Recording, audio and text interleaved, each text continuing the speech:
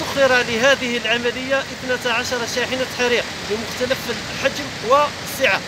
وأكثر من 50 عون بمختلف الرتب